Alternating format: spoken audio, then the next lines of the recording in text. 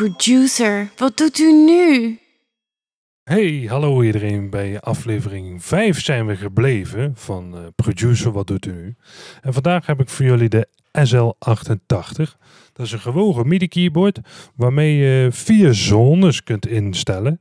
Dus wat ik gedaan heb bijvoorbeeld nu is dat ik op het midden een piano heb. Um, en aan de bovenkant heb ik nu een synthesizer.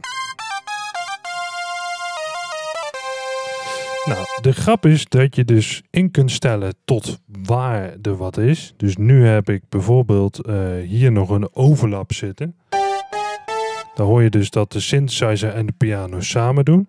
Nou, die kan ik dus dan omhoog zetten.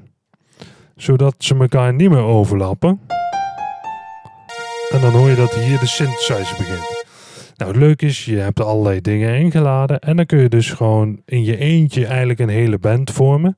Dus wat ik doe is bijvoorbeeld, hier heb ik een sampletje. Nou, die gaat lopen. Dan heb ik het volgende bankje drums zitten. Kijk.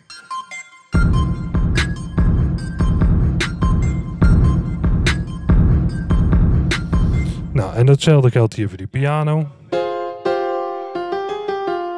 En die synthesizer. Dus dan kan ik vier dingen tegelijk doen.